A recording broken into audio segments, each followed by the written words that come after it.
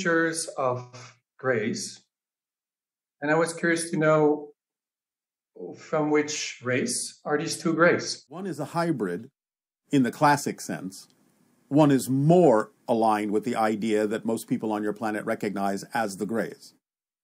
And as we have said, the greys are a mutated race of humans from a parallel version of Earth. At least that faction that you're mostly dealing with. Not that there aren't other factions of greys. There are tall greys, there are short greys, there are greys from other dimensions. But the ones that we more often than not refer to are the race of mutated humans from the parallel version of Earth. Does that answer your question? Or is there something else you wanted to explore about that? I was wondering if it had maybe something to do with the different Uh, hybrid races that will that will be introduced. Well, first and foremost, the different hybrid races will be introduced at different times.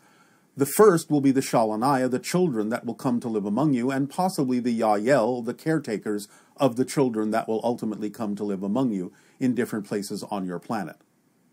So, eventually, you will start to meet, as contact opens up more and more, the different hybrid races. But remember, the Greys are already, in a sense, one version of a hybrid race.